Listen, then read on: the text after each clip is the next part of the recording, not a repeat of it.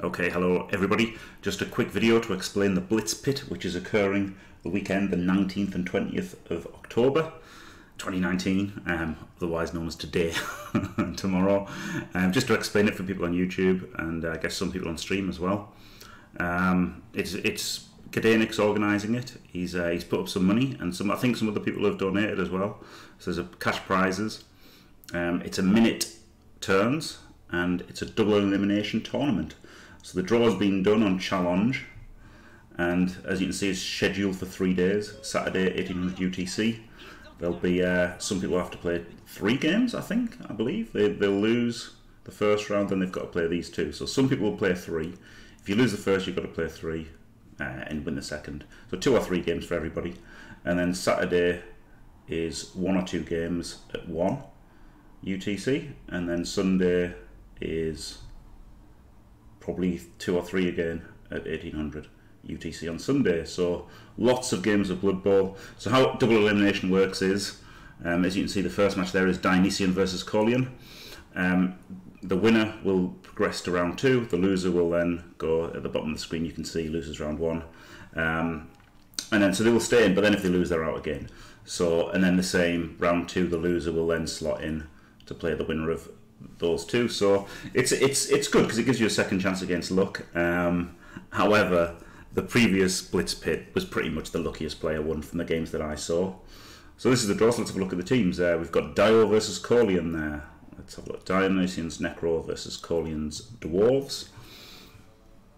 Uh, Dionysian won the previous one. So and he's he's picked a very good team as well. Actually, here I, I believe he's got there were different tiers and stuff, um, and there was stacking and two doubles. Now I didn't know there was uh, two doubles. I would have probably gone for something very similar to this. What I would have done is. um, I would have dropped the block off the ghoul and put guard on the flesh golem, and that to me would have the best of all worlds. There, four guards, two block mighty blows. He hasn't. He's he's got he's gone for a fully protected ghoul, which is absolutely fair, isn't it? You know, he's got twelve players. He's got three rerolls it's very strong having two block mighty blow werewolves. You know, that's that's just the thing that leaps out at you when you can stack two skills. Can't stack three skills, but you can stack two. And they got extra TV as well over the tier one races, Necro. So this was Necro were a really good job. When you think you can make this team very powerful, two really good werewolves, and all you can really hope to do is take them out or strength bully them. And uh, Colian, uh, Dionysians, I, I believe Dionysians won CCL and he won the last Blitz Pit. Colian is uh, plays a lot of CCL. Very good. I mean, they're all every, everyone's good coaches. They've been invited by GdayNick because they're good. Um, Colian has gone for a death roller, which uh, I'm not sure about. He's got no blitzers, which I'm not sure about. But then you kind of can't if you're fitting a death roller in. I'm, I mean, it could be good in some games, but I think it's, you know, I don't think it's very good. got a fully blodged up runner, fully protected blodge runner uh, with sure hands. But you know this this the fact that everyone's going to have mighty blow tackle in this league, in this tournament, meant that I don't think Wood Elves were really a threat. So I don't think you have to protect your carriers so much. Uh, Dark Elves could still be a bit of a threat, but I don't think Dark Elves are that good. He's got six guard, he's got a mighty blow slayer, two rerolls. I mean, it's all right. Um, as far as a death roller team goes, so I would uh, I would bet on Dio to win that one. And then we've got Random Guy Lizardmen versus Pupox Dwarves um, random random boy. Um, he went undefeated last season in REBBL in First Division, and he's sometimes he's a very good coach. Sometimes he's a bit uh, dodgy.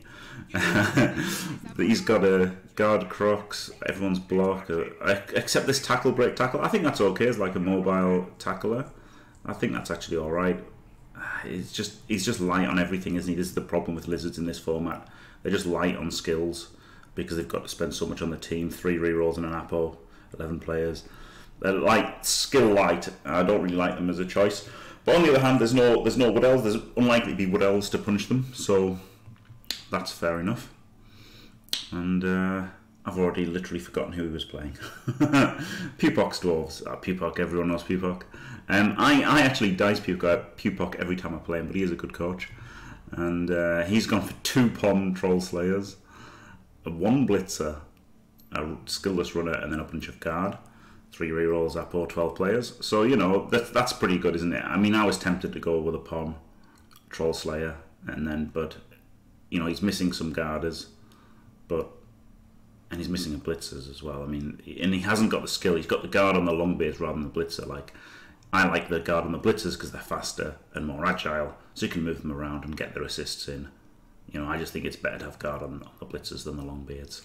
Um, two Pommers, obviously, there's going to be a lot of luck involved in those, and it is a bad racial matchup for Dwarves, Lizard Men, so Random Boy could, could win that definitely. Um, I do believe that whoever wins will lose to Dio, though, so Dio's my pick to get through from there. And next up is myself with Dwarves versus Ungern with Dark Elves. So, um, my team is Hello. and to be honest, I, I didn't I didn't think a lot for making this tournament. I didn't analyse the, the format. I, I was busy and stuff, and, and I had all sorts of problems, and I really didn't give this the attention it deserved. So it ended up the last day that we had to, to submit rosters. I just thought I could make dwarves and spam lots of skills. So that's exactly what I did. Loads of guard, nine guard, and a mighty blow troll slayer, and a reserve runner, you know. So I, think it's a good build, though, you know. Like although it's kind of mindless spamming guard, it's obviously quite a min max powerful thing to do. So I think it's a pretty decent, uh, decent build. I'm up against Ungern, who's the only Dark Elf. Uh, it could be the only Dark Elf team. One of the very few elves. I think he's the only Dark Elf. Um, and you know, so he's actually got some dodge for my tackle to be of use. He's got a tackler which is wasted against me. He hasn't got a lot. I mean, this is why I didn't go Dark Elves. They just don't get a lot, right?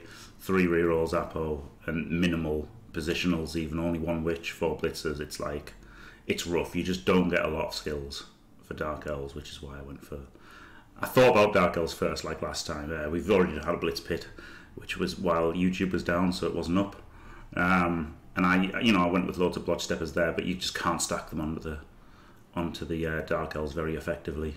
So I think his team isn't very good, and I hopefully I should win that one. I believe. Ungern's a very good coach, but I, I, think it's a very good racial matchup. Now I've got Elyod with Chaos and Luminous Light with Humans. So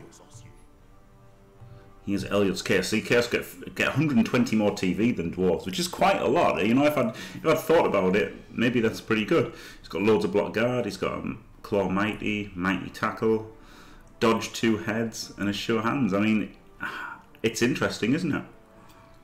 12 players, 3 rerolls Apo, it's durable, loads of, you know, strength, guard, and it's got the claw as well. Um, it's not a bad team at all. This is probably the best Chaos team in the tournament. Elyod's a great coach, but he does like take a lot of time, so he might he might struggle with the the time being a factor. Uh, luminous light here with humans. I, do, I honestly don't know luminous light, uh, but he must be good for to be invited. He's got a block guard ogre, uh, mighty blow tacklers, guard stand firms. I mean, humans get loads of skills, don't they? This is this is I probably I would I would have if I'd thought about it more, I would have probably settled between Chaos, Necro, and uh, humans. I think they, you know, they could really have spanned more guard. They could have had two more guards here, um, or piling on, or guard mighty blows, or just guard on catches. They could, you know, you get two doubles. Um, now he's gone for guard on the uh, lineman rather than guard on catches. I like guard on catches, just mobile, even though they're only strength two. But um, I think humans are kind of tailor made for chaos. And I know Elyod's an excellent coach, so I'd probably favour Elyod to win that game. And then he, he could well beat me with Chaos. I'd back him to win, honestly, in that one because he's got the strength and he's got claw. And then it'll be him versus Dio on round two. I mean, I don't want to do the whole the whole predictions. We'll, we'll, just do the predictions for day one, and then I could do another video before day two, maybe. Oh, I don't know. I, am going to pick Dio to win it all anyway, so let's just get that all the way right now. right, Crucifer's Nurgle versus Larkstar's Necro. Okay, so Crucifer, again, see 1420, it's, it's as good as a Nurgle team can be, this. I, I think it's built brilliantly. You know, block guard on all five guys, two claw mighties with two pestigors, a sure hands rotter, it gives you something, you know. It's built brilliantly. The bad thing is, it's Nurgle. You know, he's only got 11 players, and he's but he's got a lot of blocking. He's got three rerolls, but yeah, it's it's excellent skill picks. I think really good skill picks. Um, this is probably the the best Nurgle team you could possibly make. Obviously, everybody knows Crucifer, um, and he's, he's certainly going to be solid. Uh, Larkstar's Necro, wasn't it? I, I believe he's up against. Now, what I don't like about this, I don't like this build. He's got 30k left over. Um, now, to me, what I would have done is I would have dropped, I would have turned this ghoul into into a reroll, and that extra money and the wrestle I would have turned into a zombie, and then with that extra 10k you could have had the mighty blow. But um, yeah, I don't, I don't know. I don't, I don't like that he's only got two rerolls. But obviously he gets more power on the pitch by only having two rerolls. But then he's left 30k off with a fan factor cheerleader and assistant coach. Um, but you know it's good. It's just the same as the other one. It's got more guard than uh. But he's, he's you don't really need the tackle. The tackle's so narrow. It's only good if they've got dodge, and you've got two frenziers anyway. So I really think it was a mistake to go tackle. I think two mighty blow would have been far far better.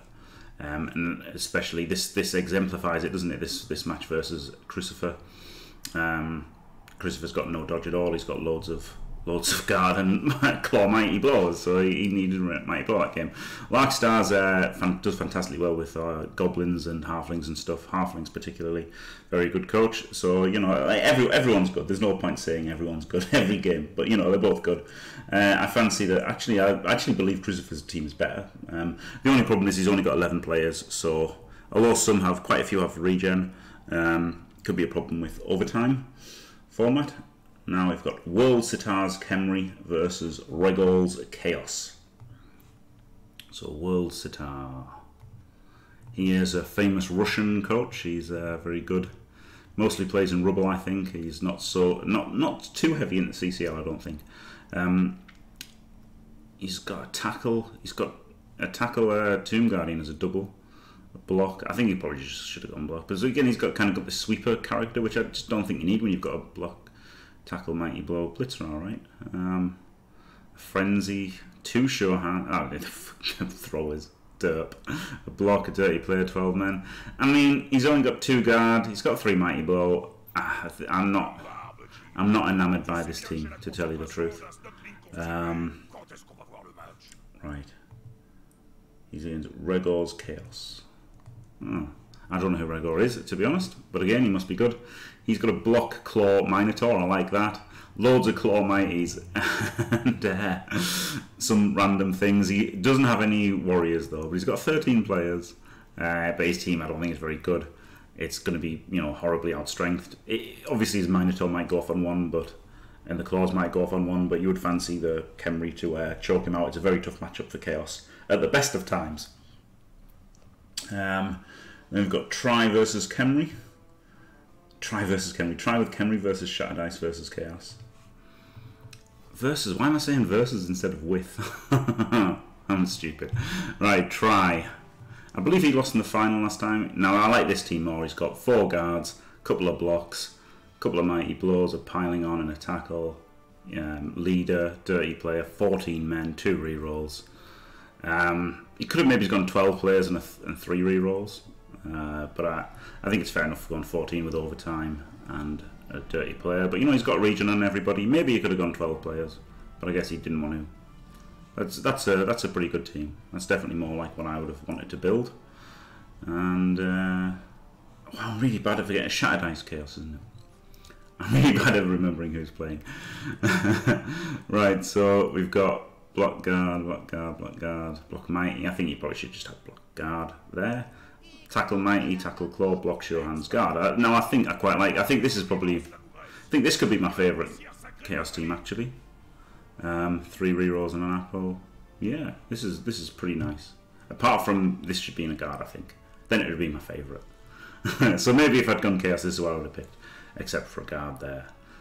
Mighty blow tackle, it's not ideal, but you know if you if you come up against dark elves or something, you're going to re be really happy about him. You're only losing well, I guess he could have been claw against anybody else. Maybe you should have gone two claw. claws. Who knows? Um, honestly, that could go either way. I'm not. I, like again, I put Try as the favourite because he's got 14 players in regen, and Khemri are a horrible matchup for Chaos. But on the other hand, you know, if the claw mighty blow does work, it's going to be very hard times for Try. But yeah, I'd definitely pick Try there. And then we've got Keful. It's hard to pronounce his name. with Chaos versus Holy Boy's Humans. Holy Boy um, is a very good coach in REBBL mostly. Um, he's got you know see if humans I would have gone spam guard. I would have spammed the hell out of guard. He has not. He's only got four guard. He hasn't used a double for block. He hasn't used his doubles at all, has he? He's just gone more skill spams. I think it probably would have been worth it to uh, drop sidestep wrestle wrestle and have guard guard. Personally, I like more guard. You could have even had guard mighty blow there, and you could have had uh, you could have had seven guard on humans, which is pretty disgusting, isn't it? Um, so yeah, I mean it's it's good though. You know, mighty blow tackle guard. It's not like the other our choices are bad. It's got loads of wrestle. It's you know it's. Uh, I'm just putting my ideas forward. I'm not saying that my ideas are better than the other people's. They're just different, aren't they? Everyone's good in this tournament. Here's Kier Fool. Um, he's going to claw upon Minotaur, which is incredible, isn't it? Um, loads of block guard, block sure hands, wrestle tackle, claw mighty. I like wrestle tackle. Um, that's pretty decent, isn't it? Only two rerolls though, and only 11 men, because obviously he's fitted all the positionals in. Um, it's going to be very dicey this team, isn't it? He's gonna, he's probably going to muller people, or you know, really struggle. Now, obviously, Careful is uh, ranked very highly. I believe he's still number one Dark Elves in, in NAF. So, you know, he's a really good coach. But, you know, everyone here is really good. It's not like anyone's got that much of an advantage against anybody else in, you know, in coaching skill wise. Um, so there you go. I probably I probably pick Careful just because I, I, just generally like chaos against uh, against humans, to be honest. Now, what I probably should have said at the start was all of the games are being casted on Twitch. Um, they are being casted by, well, some of the people who are playing are streaming them, like Careful and myself. And then there's a massive commentary team. I'll, I'll put a link in the description for the uh, where you can find out who's casting which games on, um, to Reddit. And but there's people, there's BZL, Squirrel Dude, T Self, Vulpes Inculta, Sea Brawls, Geryon, Calcium, YaemBB, and Haringzor. They're all casting the game, so every game will be covered uh, by impartial casters and then I'll be casting my own games. Probably Crucifer will be casting his, and uh, Dio might be casting his. Kefu might be, you know, they might, they might be streaming their own games. Be lots of people streaming their own games, but every game will be casted by commentary teams. So I'll leave all the links to all their Twitches in the description. Leave the link to the uh, REBBL as well. So be sure to check everybody out and uh, stay fantastic.